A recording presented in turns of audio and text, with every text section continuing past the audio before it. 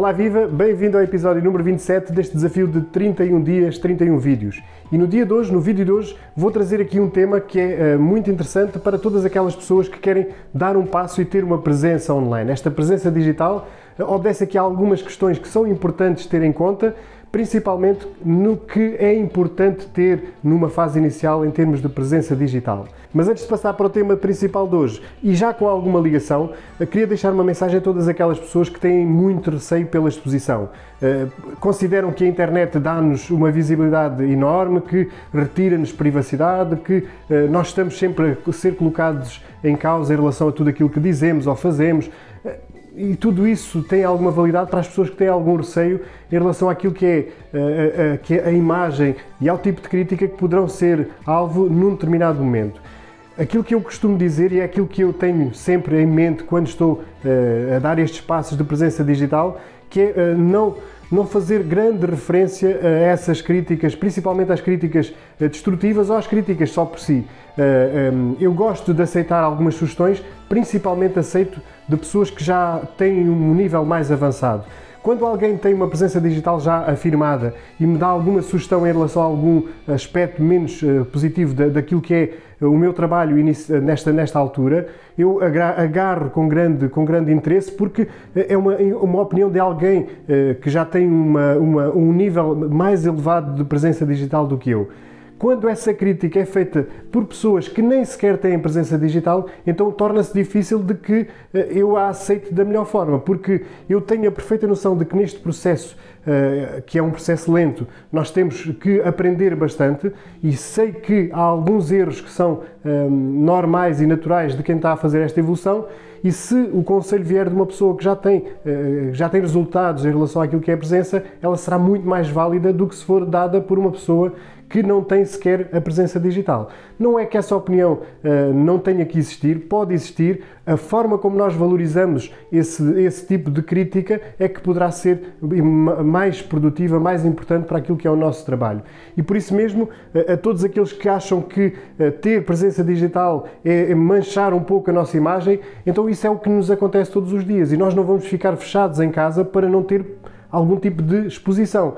Eh, e nós, enquanto professores, temos essa exposição diária para um público uh, que é relativamente curto, mas que se abrange uh, as famílias, ele cresce muito rapidamente e de forma exponencial. E nós temos essa visibilidade sempre, sempre presente.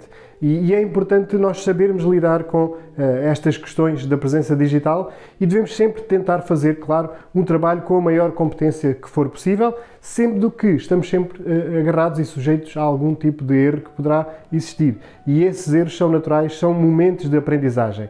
E eles têm que forçosamente existir, seja qual for o, o, nível em que nós estamos e seja qual for a área em que nós estamos. Então, esta presença digital é algo que em 2021 eu vou trabalhar um pouco, vou tentar criar alguns conteúdos online para poder ajudar algumas pessoas, principalmente uh, no que se trata de professores, professores que querem, que, que querem ter uma, uma primeira abordagem a esta presença digital e que vão precisar de algum apoio, e esse apoio será tudo aquilo que eu puder dar em relação àquilo que é a minha experiência nos últimos três anos. E por isso mesmo, vamos trabalhar um pouco dentro daquilo que será a presença digital. E quando falamos em presença digital, muitas pessoas perguntam e questionam-se naturalmente para quê, para que é que eu quero ter presença digital? Por que motivo é que eu vou uh, largar o meu conforto e passar a ter uh, um, uma, uma, presença digital que me vai exigir um trabalho extra? E então, uh, aqui para esta pergunta existem várias respostas. Uma delas é que se nós não queremos evoluir e não queremos mudar, então mantemos tudo como está. E aí, tudo bem, e ficamos por ali, não vamos ter preocupações nenhumas com aquilo que é uma presença digital. Por outro lado, se nós queremos evoluir e acompanhar aquilo que é a, a evolução natural da sociedade, então é certo que esta presença digital é algo que existe nas mais variadas áreas da, da, da, sociedade. E, e, e nós, enquanto professores, não podemos ficar à margem dessa sociedade. Nós temos que acompanhar, temos que conhecer como é que o mundo está a evoluir para que possamos passar essa mensagem também aos nossos alunos. Mas para além desta questão direcionada especificamente para os alunos, ter presença digital é, é uma forma fácil e rápida de poder partilhar conteúdos com outros colegas das mesmas áreas disciplinares, partilhar boas práticas com exemplos de atividades ou de projetos desenvolvidos no seu contexto disciplinar ou no contexto da escola. Poderá ser também uma forma de poder ajudar outros colegas da mesma área ou de outras áreas com algum know-how que existe por parte desse, dessa, dessa pessoa poderá ser uma forma de rentabilizar todo o conhecimento, toda a experiência através da criação de cursos online. Existe uma infinidade de possibilidades que esta presença digital nos traz enquanto utilizadores eh, ativos e produtivos no mundo digital. Por isso mesmo, há aqui alguns aspectos que são muito importantes quando nós falamos da presença digital. O que é que é necessário ter numa fase inicial para nós termos eh, reforçado esta nossa presença digital? Então há aqui quatro pontos que eu considero que são muito importantes para quem quer dar os primeiros passos para ter uma presença digital. Naturalmente que não, não conseguiremos ter todos estes pontos a funcionar em simultâneo de uma forma imediata, será algo que se vai construindo progressivamente. E a partir do momento em que nós começamos a produzir conteúdos para termos esses conteúdos uh, publicados online, então nós começamos a ter uma, um conjunto de situações que vão fazer a projeção, a propagação, a divulgação desses, desses conteúdos na, na nossa rede. E isto porque nós sabemos que existem muitas pessoas que utilizam formatos diferentes de acesso à, à informação. Então, o primeiro, e aquilo que eu acho que é um dos mais importantes quando damos um primeiro passo para a nossa presença online, é ter um blog ou um site. E este ponto de partida poderá ser logo um, um monstro para algumas pessoas.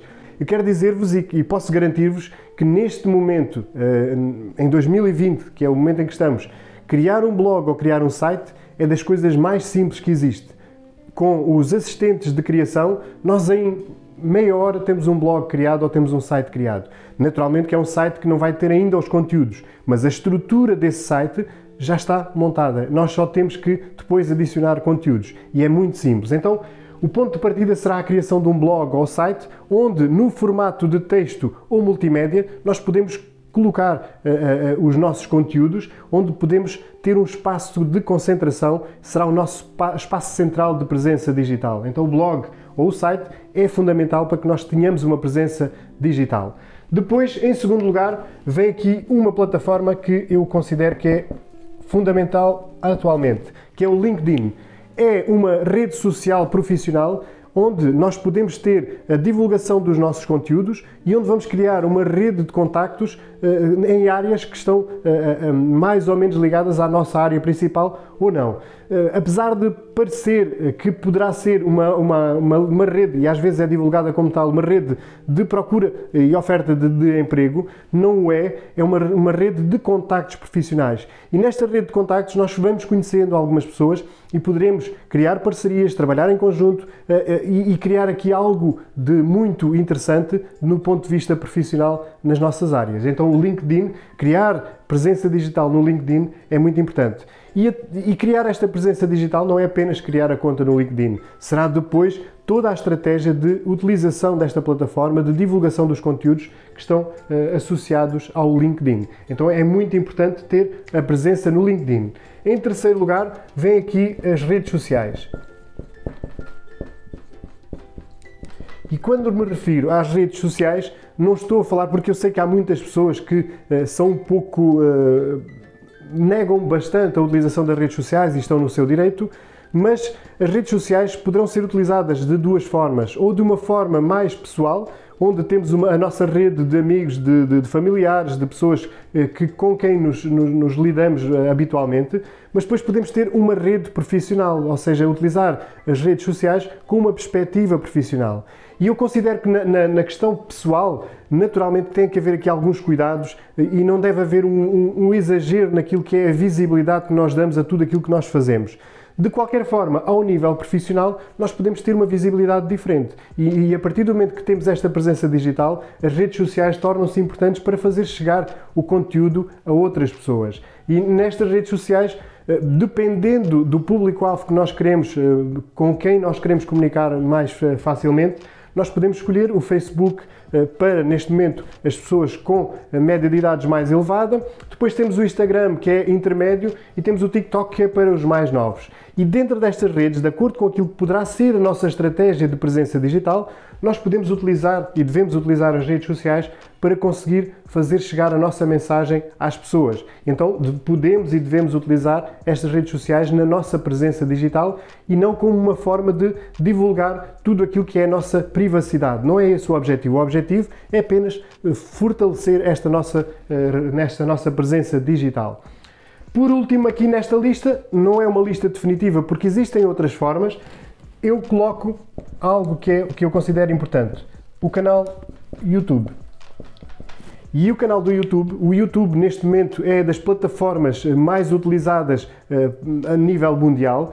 Uh, o formato de vídeo tem uma força muito, muito grande neste momento e por isso mesmo eu considero que ter uma presença no canal do YouTube é algo de muito importante ao nível da presença digital. E este canal do YouTube pode ser utilizado de diversas formas. Pode ser utilizado por um professor, por exemplo, eh, para ter alguns conteúdos, algumas noções, alguma, alguma forma de explicação, algum tipo de enunciado em formato de vídeo eh, e que possa ser disponibilizado através eh, das várias presenças na, na internet ou poderá ser uh, utilizado com o intuito de uh, produzir conteúdos para chegar a outras pessoas. Mais ou menos ao género daquilo que eu vou fazendo no meu canal do YouTube, onde tenho uh, este desafio também em categoria, mas de qualquer forma é um local onde eu vou colocando algumas, algumas dicas, alguns vídeos com ajudas para as pessoas que estão a utilizar as tecnologias e que querem resolver determinados problemas. Então eu estou a utilizar o canal do YouTube como forma de poder chegar às pessoas um, num formato diferente. Naturalmente que tudo aquilo que é produzido no canal do YouTube é depois um, propagado nas outras presenças digitais que nós podemos ter. Poderia acrescentar estes quatro itens de presença digital e poderá ser considerado um primeiro passo para esta presença digital. Poderia acrescentar aqui, por exemplo, a, a criação de um podcast.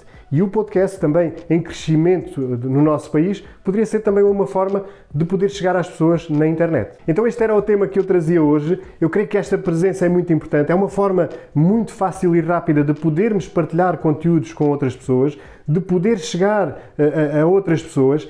Ao fim e ao cabo, aquilo que, por exemplo, é o meu trabalho neste momento na internet, era um pouco daquilo que eu fazia nas escolas. Naturalmente que o público que eu conseguia tocar era um público bastante reduzido e neste momento, através dos vários, de, de, dos vários espaços que eu tenho online, eu estou a chegar, estou a chegar a muito mais pessoas, estou a chegar a pessoas de Portugal, estou a chegar a pessoas de Angola, de Moçambique, de todos os países de língua oficial portuguesa. Portanto, aquela partilha que se restringia àquele núcleo de pessoas na escola foi ampliado de uma forma enorme em, em pouco tempo, através da presença digital. E este, este objetivo de ajudar, de partilhar, de poder chegar aos outros é uma forma uh, bastante interessante com a nossa presença digital. De qualquer forma, e como eu já tenho referido em alguns dos vídeos deste desafio, uh, não defendo naturalmente tudo que tudo seja digital, mas também não defendo que tudo seja analógico. Eu creio que é no equilíbrio entre o analógico e o digital que nós podemos evoluir mais rapidamente, nós podemos e devemos rentabilizar da melhor forma todos os aspectos positivos que a tecnologia nos traz.